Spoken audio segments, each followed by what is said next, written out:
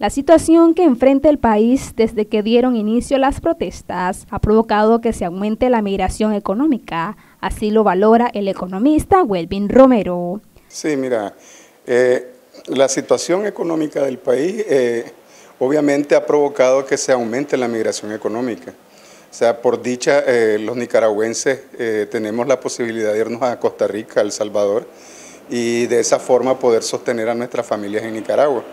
Eh, y eso ha implicado un aumento en las remesas familiares de 10% eh, en este año. Si esa, esa, tendencia se mantiene, estamos hablando de que el 12% del Producto Interno Bruto de Nicaragua eh, va a estar sustentado en remesas familiares.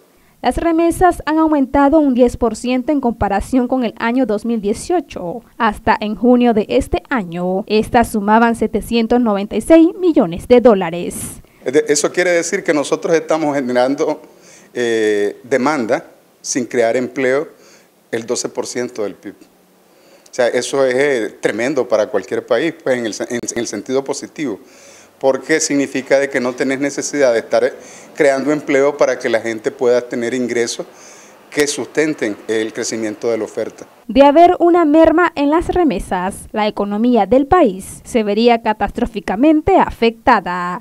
Sería catastrófico para el país cualquier medida que le pongan, eh, no solamente el hecho de que se reduzcan, por ejemplo, eh, en algún momento se habló de ponerle, eh, los Estados Unidos ponerle impuestos a la remesa.